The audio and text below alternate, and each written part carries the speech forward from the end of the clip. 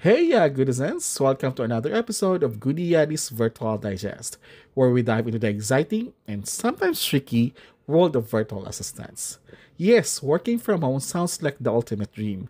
Pajamas all day, walang commute, at may freedom sa schedule. Pero let's be real, it's not always rainbows and butterflies. Minsan, motivation, phew, nawawala. You know the feeling? Yung ang dami mong kailangan gawin pero parang gusto mo na lang humilata sa kama? So sa araw na to, we'll talk about practical tips on how to stay motivated as a VA, lalo na kung solo ka nagtatrabaho sa bahay. First tip, set clear and achievable goals. Parang map mo yan sa trabaho. Kailangan mo ng direksyon para hindi ka mawala. Without clear goals, madaling ma-overwhelm and pag overwhelm ka, ayun, motivation disappears. My advice, break your big tasks into bite-sized chunks. For example, instead of finish entire project today, you can break it down into smaller steps like complete research by 10 a.m., submit first draft by lunch, and take a coffee break at 3 p.m. Kasi let's be real, every time you check something off your list, ang sarap sa feeling, right? Na that little win gives you that extra push to keep going. Next up, build a routine that works for you. Yes, alam kong ang sarap sa feeling na may freedom ka to work anytime.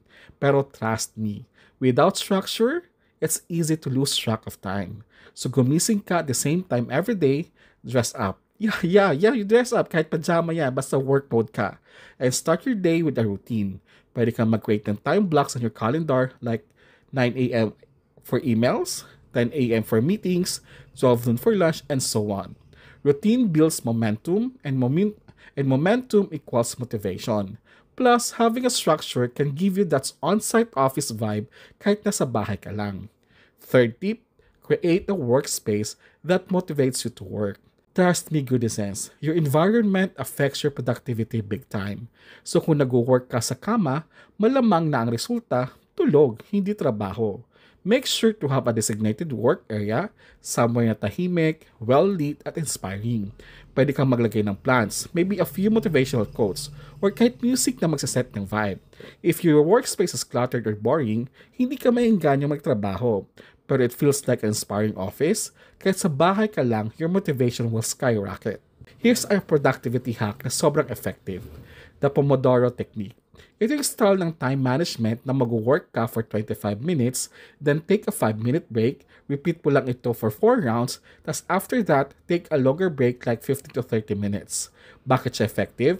Kasi it keeps your focus and productive for short bursts. Plus, you get to rest your brain in between. So instead of marathon work sessions na makakadrain sa'yo, this technique keeps you in peak mode all day. Kaya subukan mo na yung Pomodoro technique, okay? Let's talk about rewards. Sino bang ayaw ng reward, di ba? After completing task, especially yung mahirap na task, reward yourself. Pwede siyang as simple as quick snack, an episode of your favorite series, or even a quick walk outside. Yung reward na yon, it's not just a treat. It's a way to motivate yourself for your next task. So every time you accomplish something, you have something to look forward to, which makes more work fun and exciting. Work from home can get a bit lonely, especially kung wala kang office friends or team members to chat with. Pero here's a pro tip. Stay connected with other VAs. Mag-join ka sa mga online communities, mag-attend ka ng virtual meetups, or create your own VA barkada where you can share your ideas, support each other, and even just talk about your daily struggles. Having that sense of connection will remind you that you're not in this alone marami tayong VAs out there na nakaranas ng ganitong challenges. So go ahead and find your virtual tribe. And of course, huwag kalimutan ang self-care. Hindi puro trabaho ang buhay. Importante din na you take time to recharge. Whether it's exercising, meditating, or simply taking a break from your screen, kailangan mo yan to keep your mind and body healthy. Huwag din masyadong magpaka-stress. Learn to balance work and life. Kapag nalagaan mong sarili mo, mas magiging motivated ka to tackle the tasks ahead. Remember, self-care is not selfish. It's essential. Lastly, celebrate your wins. Whether it's a big project na natapos mo or something small like organizing your inbox, celebrate it. Give yourself credit for the hard work that you put it in. Minsan kasi, we get too caught up sa dami na trabaho na nakalimutan na natin na acknowledge the milestones that we've achieved. So take a moment to reflect on how far you've come and give yourself a pat on the back. That little celebration fuels your motivation to keep going. So there you have it, good sense. 8 solid tips to keep you motivated as a virtual assistant, even you're working solo from home.